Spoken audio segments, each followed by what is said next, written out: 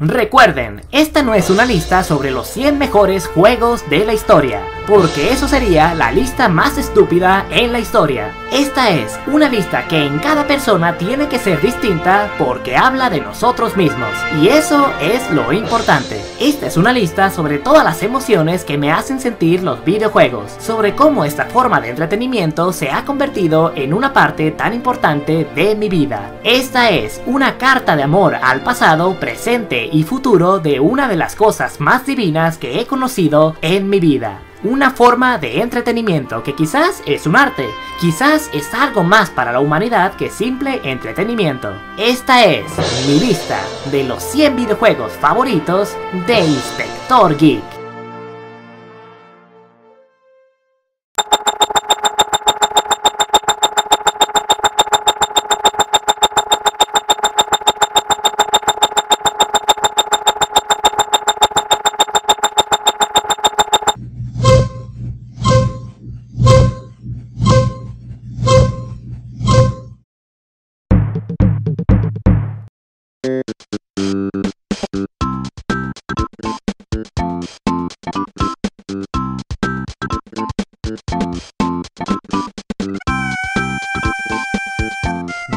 5. Yoshi Island. No hay duda de algo, Mario Bros. es el juego a nombrar cuando se habla del género de plataformas. Los juegos de Mario comúnmente son los que ponen las reglas en cuanto al género de plataformas se refiere. Sin embargo, el mejor juego de plataformas que he jugado en toda mi vida no vino de Mario, sino de parte de su nuevo aliado descubierto en el Super Nintendo, el Gran Yoshi, o para los muchos que les sorprendió la noticia de su nombre real, siendo que ya se sabía desde hace mucho, The Yoshisaur Munchan Koopas. Sí, el nombre de Yoshi es genial. Yoshi Island es la secuela del juego de Super Nintendo Super Mario World. De hecho, en el título del juego se puede ver Super Mario World 2 en las letras pequeñas, y después Yoshi Island. Al parecer, Shigeru Miyamoto amaneció tremendamente inspirado para hacer este videojuego, al no explotar completa la mecánica de Yoshi en el juego anterior. Decidió hacer un juego completo basado en él. Pero este sujeto se fue a lo grande. El juego no tiene rastro alguno de ser predecesor de Mario World, fuera de las locaciones y personajes, porque tanto el estilo visual, el gameplay, el diseño de niveles, la música, la ambientación, la historia, todo, todo fue diferente para esta secuela, haciéndola una de las secuelas más atrevidas en la historia. Y qué mejor pago para dicho atrevimiento que un juego que es sencillamente una de las ejecuciones más perfectas que he visto en el mundo de los videojuegos, además de uno de los juegos mejor integrados. En cuestión de historia, el juego no continúa después de Super Mario World, sino que es una precuela del mismo, empezando justo al inicio de todo, con los bebés Mario y Luigi a punto de ser entregados por la cigüeña. Sin embargo, gracias a Kamek, el mago, la cigüeña pierde a uno de los bebés y secuestra al otro. El bebé que se pierde es Mario, que cae en la tierra dominada por los Yoshis. Estos amables dinosaurios están empeñados en regresar a Mario con su hermano y después llevarlo a la cigüeña. La historia obviamente está mucho más infantil que el juego anterior, pero esto sirvió como una perfecta excusa para hacer igualmente el aspecto visual del juego con una forma más infantil. Esta vez Shigeru Miyamoto vino con la excelente idea de hacer un mundo con un aspecto como si un niño lo hubiese dibujado, por lo que le da un toque mucho más peculiar e identificable. Dicho efecto era muy difícil de hacer, pero Nintendo, mostrando sus ideas creativas e innovadoras, cosas por los que eran reconocidos en el Super Nintendo, llevó la consola a los límites con este videojuego. No solamente el arte con crayones era complicado, sino que el juego hace uso de todas las capacidades conocidas y desconocidas del Super Nintendo, integrándolas de forma sumamente creativas. Hay efectos de rotación de pantalla sumamente bien diseñados que aprovechan el conocido modo 7 del Super Nintendo, el cual permitía mover los escenarios rápidamente. De igual manera hay ciertos efectos de transparencia que no eran muy comunes en este tiempo, y que sin duda son visualmente impresionantes. Incluso verás uno que otro efecto 3D que muchos no percibirán por el hecho de estar tan bien integrados con el escenario, como el simple hecho de abrir una puerta. También usa una técnica llamada Parallax, la cual ayuda a dar mucha más profundidad al escenario al identificar cosas muy a lo lejos, cosas que incluso juegos hoy usan como Rayman Legends. Para mí lo que siempre se me hizo impresionante de este juego fue el aspecto visual de los jefes, ya que a diferencia del juego anterior, los jefes son gigantescos. Estos son mi tipo de jefes favoritos, jefes enormes, que sientas que es una epopeya el verlos caer. Y Yoshi Island no escatima en ellos, todo es enorme, la escala es increíblemente bien balanceada. Para mí, no hay mejor diseño de juego y niveles que aquel juego en el que te enseñan desde el inicio todos los movimientos del personaje y que el avance de los niveles es simplemente usar esas mecánicas básicas una y otra vez en situaciones creativas. Y eso es precisamente lo que es este juego. Desde el inicio descubres que puedes brincar, sostenerte en el aire, tirar huevos, correr y caer de sentón para aplastar cosas. Pues con esas simples mecánicas el juego se alimenta y se alimenta, dándonos toda clase de variedad. Lo único que cambia es la misión y lo inteligente que eres con las habilidades. Solo por poner un ejemplo, al inicio sabes que al presionar el botón A, preparas tus huevos para dispararlos, y al presionarlo de nuevo los liberas en la dirección que elijas. Ahora, ya aprendiste el movimiento, ya sabes qué tienes que hacer, apretar dos veces para disparar, entendido. Pues bien, con esa simple mecánica, prepárate para hacer de todo en este juego. Atinarle a enemigos estáticos, atinarle a enemigos en movimiento, atinarle a enemigos mientras saltas, romper paredes, descubrir pasadizos, pegarle a flecha donde los huevos necesitan pasar, etc. Algo tan simple como presionar el botón de disparo dos veces se vuelve un torbellino de posibilidades. Esa es la esencia de Nintendo, y Yoshi Island es la prueba viviente de su ideología en su mayor expresión. Esa simple mecánica de tirar huevos más adelante se transforma en más cosas ¿Qué tal rebotar huevos en las paredes para cambiarlos de color y obtener premios? ¿Qué tal rebotar huevos en las paredes para llegar a lugares inaccesibles? ¿Qué tal si te dan huevos gigantes que al tirarlos en el piso eliminas a todos los enemigos? Esa es creatividad a la hora de tener un game design. Bien, ahora ya aprendiste la mecánica de tirar huevos. ¿Qué pasaría si te digo que ahora tienes que conseguir los huevos antes que nada? Y que la manera de tener huevos es tanto comiendo a los enemigos como consiguiéndolos en lugares específicos del mapa. Hay cosas que no puedes comer y cosas que sí. Aparte también hay cosas que no puedes hacer huevo, sino que las tienes que escupir como melones que te hacen tirar semillas, o fuego o demás. Y ahora, ¿qué tal si te digo que en ciertas misiones el gameplay cambia con acciones específicas, como controlar a Mario en lugar de Yoshi, o convertirte en vehículos como helicópteros o submarinos, o máquinas excavadoras?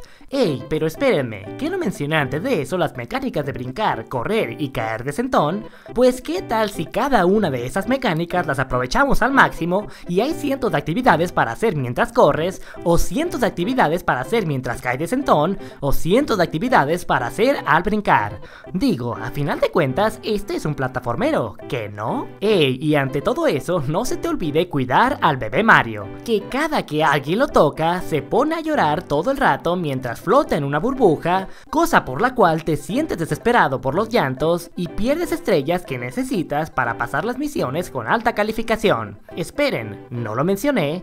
Ah sí, en este juego cada misión tienes que completar ciertos objetivos, como coleccionar 30 estrellas de tiempo, 5 flores y 20 monedas rojas escondidas, porque claro, además de ser un juego entretenidísimo y plataformero, es encima un juego de coleccionables. Y eso amigos es precisamente la belleza de Yoshi's Island, un juego donde no dejas de entretenerte ni un solo minuto haciendo cosa tras cosa con las mecánicas básicas que tienes al inicio, pero a un punto que nunca se sienten viejas. Cada misión que avanzas todo cambia en ritmo, ninguna misión se parece a la anterior, incluso el cambio de color de los Yoshis de cada misión. En serio, esto es lo que admiro de este juego, pero cuando me empiezo a sorprender solo por el detalle del gameplay, de repente todo lo que envuelve a esta belleza de gameplay, y eso es una gran variedad de escenarios, de enemigos y un mundo virtual animado que pareciera tener vida por sí mismo. A diferencia de otros juegos donde te sientes dentro de un videojuego como tal,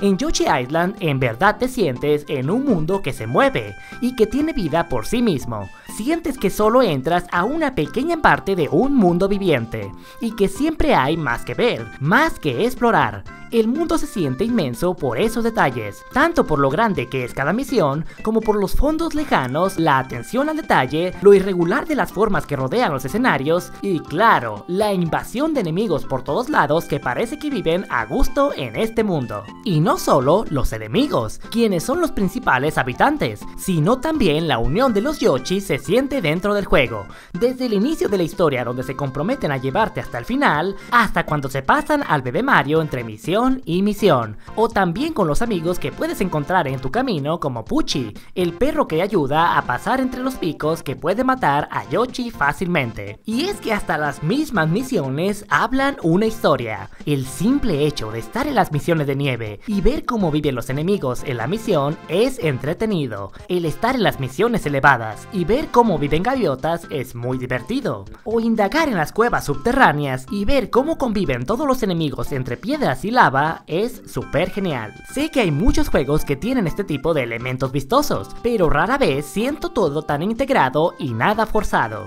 Todo entra en el momento en que tiene que entrar. El juego nunca abusa de los elementos los cuales se sienten repetitivos y siempre te mantiene despierto, con mucho gusto de hacer una nueva misión. La única razón para dejar de jugar este juego y dejarlo para otro día es porque ya tuviste demasiado entretenimiento por un día. Es decir, la mejor razón por la que puedes dejar de jugar.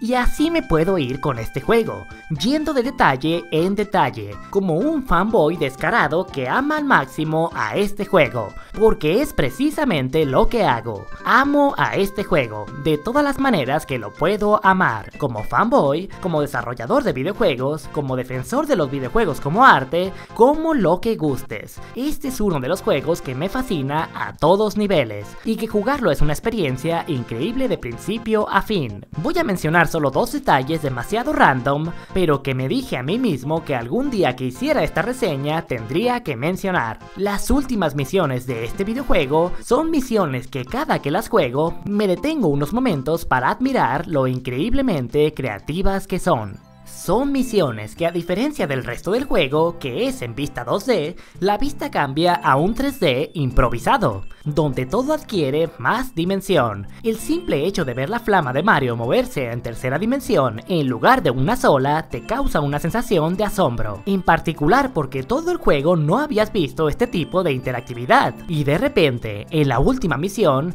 es como si estuvieras jugando un juego distinto, pero con las mismas mecánicas. Por Dios, el simple hecho de meterme a una tubería me emociona en estas misiones. Se nota que amo este juego hasta el más mínimo detalle, ¿verdad? Y el otro detalle que me fascina de este juego es la batalla final contra Bowser. Ya han visto una parte de ella en mi video que pongo de introducción para cada top, y es que es sin duda una de mis batallas finales favoritas con un jefe en todo el mundo de los videojuegos. Es una escena que es original desde que inicia, ya que tu primer enfrentamiento es con Kid Bowser, el cual pelea similar a ti, ya que puede hacer el pisotón en el suelo para causar vibraciones en la Tierra y dañarte. Básicamente es una batalla frente a frente. Pero cuando esta batalla termina, ahora sí sigue la batalla final, donde al mismo estilo de todos los enemigos del juego, Bowser incrementa su tamaño. Pero claro, Siendo el jefe final, no puede incrementar su tamaño menos que el monstruo más gigantesco del juego, la planta piraña, la cual abarca más que la pantalla del juego. Así que se convierte en una bestia colosal, la cual puedes ver desde una distancia muy muy a lo lejos. Y la única manera de derrotarlo es evitar que llegue a tu lugar, ya que es capaz de matarte solo con tocarte. La tensión de esta batalla es genial, ya que la perspectiva cambia y ahora tus disparos son hacia el fondo de la pantalla, una nueva mecánica que no habías experimentado en todo el juego, pero es introducida muy intuitivamente.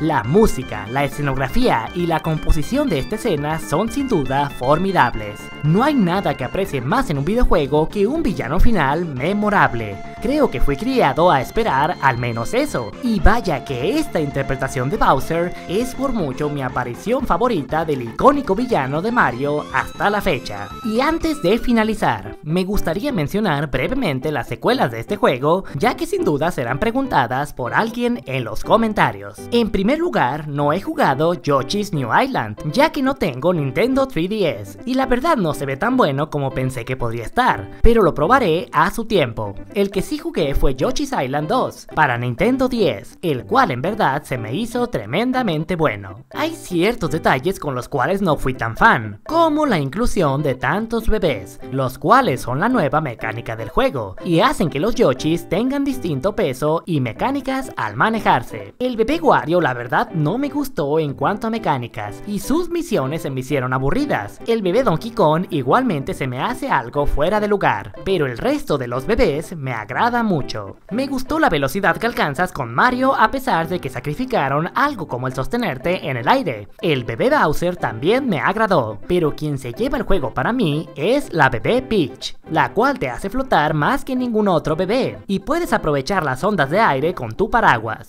Si se puede elegir, siempre elijo a Peach, porque me encanta. De hecho, por un tiempo me traumé con este personaje, pero ya hace mucho que no juego este juego. Por último, las misiones este juego están al nivel del primer juego, incluso más difíciles, lo cual como fanático del primer juego me gustó bastante, pero se me hizo muy difícil para una persona que no conoce muy bien el juego pasado, ya que yo soy bastante habilidoso en el primer título y aún así tuve muchas batallas con este juego. Pero bueno, la verdad, el que está en mi lugar de favoritos es el primero, por todo lo que he comentado, tanto porque el juego me sigue impresionando hasta el día de hoy, dado a que lo considero una ejecución perfecta en todo sentido, tanto porque me sigue inspirando como un ejemplo a la hora de crear juegos, tanto porque me inspira como una obra de arte hecha videojuego, así como por igual, es un recuerdo muy agradable en mi historia de videojugador y en mis recuerdos. ¿Y eso por qué?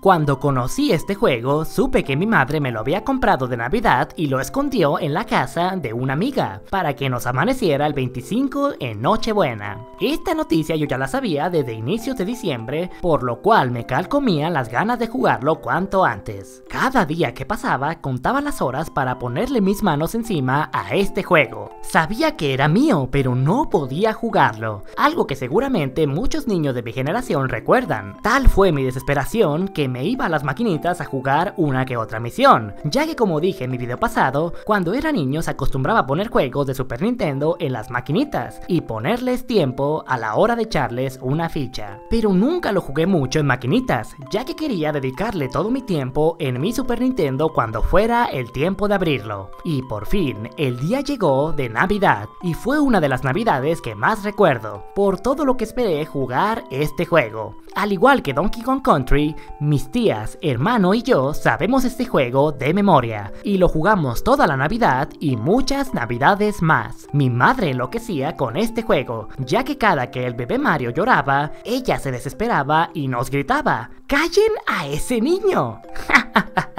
Vaya, cuántos recuerdos me trae este juego. Es sin duda un juego muy personal en mi colección y sin duda mi videojuego favorito número 5 en mi top 100 de juegos favoritos. Nos vemos en el siguiente.